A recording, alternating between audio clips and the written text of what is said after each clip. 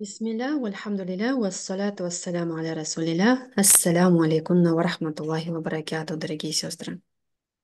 Алейкум ассалям. Алейкум ассаляму. Алейкум ассалям. А, Машалла, доброе утро. Рада вас приветствовать на нашем очередном уроке. А, Аллаху. У нас идет запись, следите за видеокамерами, дорогие сестры. А, у нас следующий цикл дуая из Священного Корана, который вы должны заучить по милости Аллаха. И а, я надеюсь, что вы уже заучили а, несколько из них, бизнилляхи та'аля. А, И у нас по счету у нас уже незаметно одиннадцатый урок, одиннадцатый дуа. Следите за микрофончиками, хватит у кого. У муслима, пожалуйста. Включайте микрофоны. Идет? И у нас идет запись. Все это в YouTube будет выкладываться. Жалко будет, если вы там бесплатно будете. А, у нас сегодня, иншаллах, а, дуа со 126 аята суры Аль-А'раф. Раббана начинается. Афригу алейна сабрау ва муслимин. То есть, Господь наш, не спошли нам терпение и умертви нас мусульманами. Субханаллах. Какое прекрасное дуа. Такое дуа, которое действительно сейчас нам необходимо. Что сейчас только не творится на земле. Что происходит в Палестине, что происходит в Украине, России, в Сомали, Камбодже, в Нигерии и так далее, во многих странах, где мучают мусульман. Страдают именно мусульмане из рук неверующих. И это дуа нужно говорить тогда, когда нужно просить у Аллаха терпения. ربنا أفرغ علينا صبرا وتوفنا مسلمين чтобы Аллах не спаслал нам терпение и умертвил нас мусульманами. Толкование Асади переводится этот аят «Ты мстишь нам только за то, что мы уверовали в знамение нашего Господа, когда они явились к нам. Господь наш, не спошли нам терпение и умертви нас мусульманами». То есть это история, которая а, до нас дошло как в виде дуа, связана полностью с историей фараона. В Коране про фараона говорится Фираун. А, Что было во время фараона? То есть помните, фараон правил всем Египтом и говорил, что он а, Господь, чтобы все люди, которые там живут, говорили, что он Господь, чтобы ему поклонялись и его слушались. А, История начинается с того, что а, они затеяли а, некий э, спор, кто из них могущественнее. Да? Муса, алейсалям, тогда был пророком. Именно во время правления Фирауна Муса, мир ему, алейсалям, был неспослан Аллахом пророком, алейсалям. И с знамениями к фараону и его знати а, поступили э, с Муса, алейсалям, несправедливо. То есть был лулем.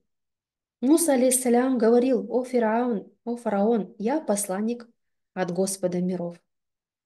Мне полагается говорить об Аллахе только правду. Я принес вам ясное знамение от вашего Господа. Пошли же за мной сынов Израиля. То есть под сынами Израиля подразумевались сыны Яакуба. Мы знаем, о, Яакуб был сыном Исхака, а Исхак был сыном Ибрахима, алейсалям.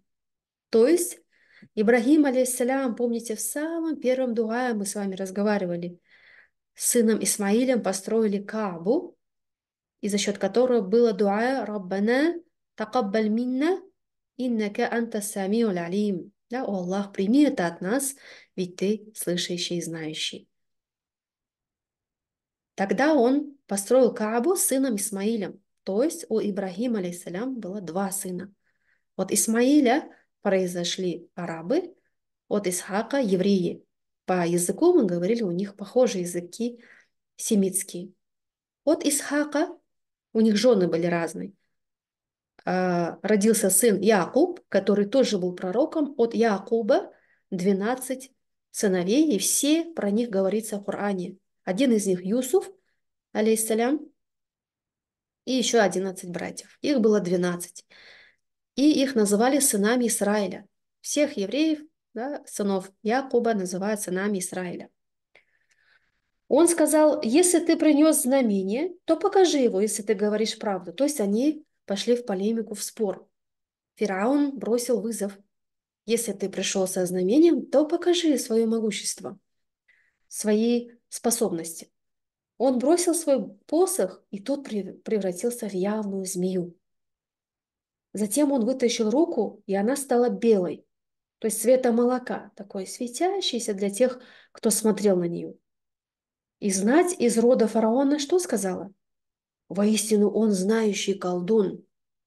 То есть они не поверили в эти чудеса, которые умел делать Муса, алейсалям, от Аллаха, субхану та'аля. Он хочет вывести вас из вашей страны. Что же вы посоветуете? Они сказали, повремени с ним, его братом, и разошли по городам сборщиков, чтобы они привели к себе всех знающих колдунов. То есть с братом, имеется в виду Муса был брат Харун. Да? Колдуны пришли к фараону и сказали, если мы одержим верх, то нам полагается вознаграждение. Он сказал, да, вы станете одними из приближенных. То есть все колдуны того селения, того города, все собрались для того, чтобы показать свое колдовство и сразиться с Мусой, алейсалям, в этом деле. И хотели какое-то вознаграждение от фараона. Он сказал, бросайте. Когда же они бросили, то очаровали взоры людей, вселили в них страх и явили великое колдовство. Мы внушили Мусе, брось свой посох. И вот она, змея, стала заглядывать то, что они измыслили. Истина подтвердилась, и тщетным оказалось то, что они совершали. Они были повержены там и вернулись униженными. То есть Муса Алисалям бросил свой посох, и тот превратился в живую змею, которая проглотила все, что наколдовали колдуны. Вот так а, Аллах Субхану показал свое могущество. А колдуны что сделали? Они пали ниц. Сказали, мы уверовали в Господа миров, Господа Мусы и Господа Харуна. То есть все колдуны тут поняли, какое мощное было а, колдовство, так сказать, да, по их мнению, у Муса, алейсалям. Но у Муса, алейсалям, это не было колдовством, а было чудеса, да, чудом Аллаха, субхану таля. И Фараон что сказал? Вы уверовали в него без моего дозволения? Сейчас у нас много а, президентов тоже в некоторых странах мы слышим, что прежде чем, когда ты звонишь с другой страны или друг другу звонишь, нужно спросить, а как вы, президент, поживаете? То есть как сперва президент да, поживает, а потом как мама поживает, папа поживает. То есть прежде чем спросить, э, какие дела у сына, у дочери, у мамы, у папы, нужно сперва президента спросить, а потом членов семьи. Такие сейчас тоже у нас есть, а, так сказать, э, правители, да, несправедливые правители. И вот Фераун сказал, как вы так уверовали в Господа, Мусы без моего дозволения. Воистину, это козни, которые вы задумали в городе, чтобы изгнать из него его жителей. Но скоро вы узнаете. Я отрублю вам руки и ноги накрест, а затем распну всех вас. То есть Фараон очень разозлился. Они сказали, воистину мы возвращаемся к нашему Господу. И вот здесь как раз-таки они попросили дуая. Ты мстишь нам только за то, что мы уверовали в знамение нашего Господа? Когда они явились к нам, то есть они все увидели знамение Господа действительно, они уверовали. И вот тогда сделали дуа, Господь наш, не спошли нам терпение и умертви нас мусульманами. Выслушав угрозы фараона, уверовавшие чародеи сказали, нас не беспокоит твое наказание, поскольку воздаяние Аллаха лучше, и долговечнее. Делай с нами все, что тебе вздумается. Только скажи, почему ты порицаешь нас и угрожаешь нам? Ведь мы не совершали никакого греха. Мы просто уверовали, уверовали знамения нашего Господа, когда они явились к нам. Если это является грехом, за который человек заслуживает порицания наказания, то мы действительно являемся грешниками. Они попросили Аллаха укрепить их веру и даровать им э, большое терпение. Пользу такого толкования свидетельствует то, что обстоятельства, что слово «собор», терпение, стоит здесь в неопределенном состоянии. Они действительно нуждались в большом терпении, потому что на их долю выпало тяжелое испытание. Они могли расстаться с жизнью. Они не знали, что сделает Фераон. Убьет их, э, накажет, отберет. И только большое терпение могло придать им стойкость, укрепить их веру в их сердцах и избавить их от беспокойства. Они попросили Аллаха упокоить их мусульманами, покорными ему, верными, верными его посланнику. Из очевидного смысла коранических аятов следует, что Фираун привел свои угрозы в исполнении и что Всевышний Аллах укрепил веру в сердцах уверовавших чародеев.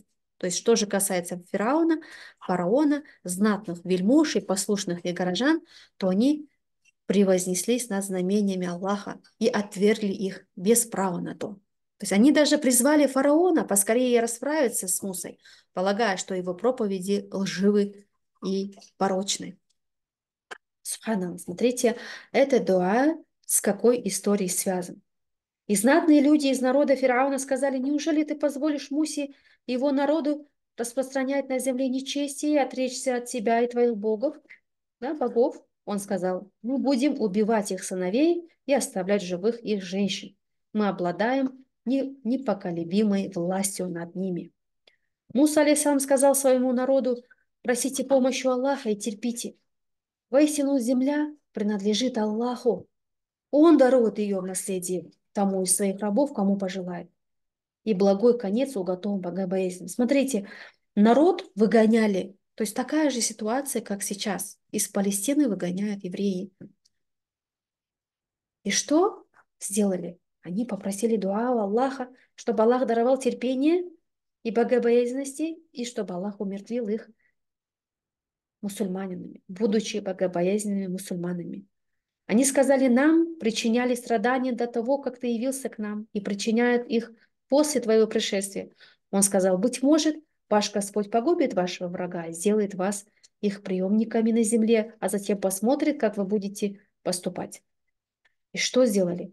Аллах э, поразил род фараона засушливыми годами, неурожаем плодов, чтобы они понимали, что это назидание. Когда их постигало добро, они говорили, это для нас. А когда их постигало зло, они связывали это с Мусой, алейсалям, и с теми, кто был с ним. Они сказали, какие бы знамения ты не показывал, чтобы околдовать нас ими, ты не, мы не поверим тебе. И тогда что? Аллах наслал им и потоп, и саранчу, и вшей, и жаб, и кровь в качестве различных знамений. Однако они возгордились. Они были народом грешным. Когда наказание их поражало, они говорили, о, Муса, помолись за нас твоему Господу о том, что Он обещал тебе. Если ты избавишь нас от наказания, то мы поверим тебе и отпустим с тобой сынов Израиля, так говорил. Когда же э, мы избавляли их на, э, от наказания Аллаха, да, Аллах говорит, когда мы их избавляем от наказания до определенного срока, то они потом нарушали это обещание. И Аллах что сделал? Потопил их в море. Вы знаете, что в итоге Аллах Субхану их потопил в море, таким образом наказал.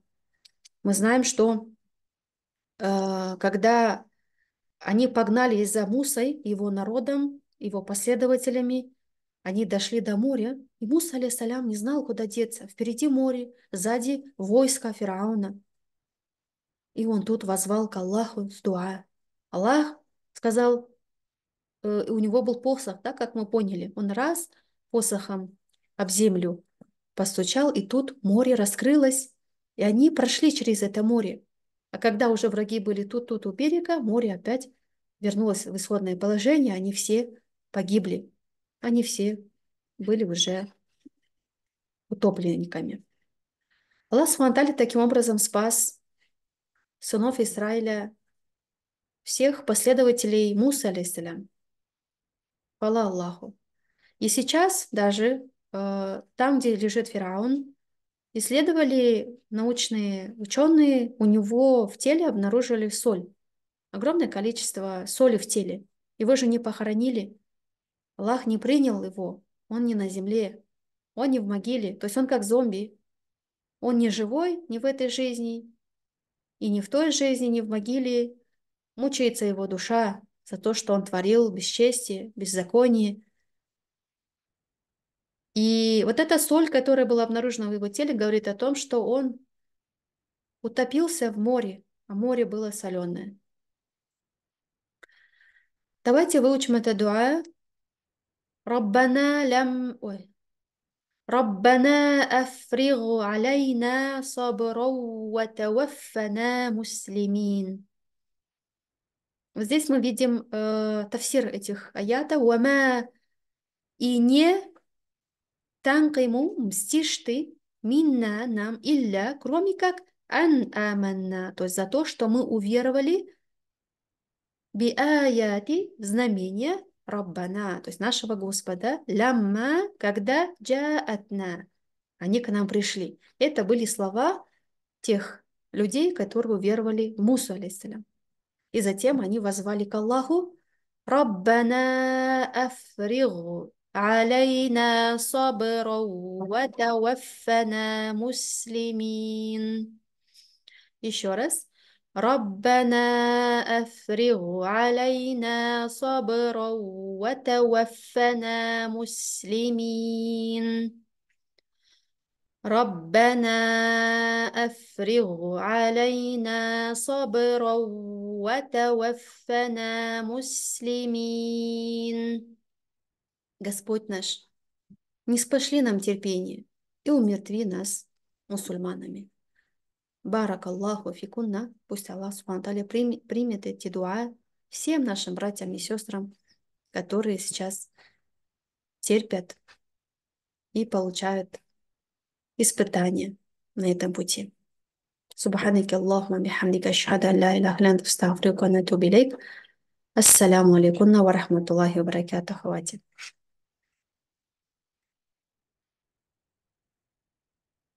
وعليكم السلام ورحمة الله وبركاته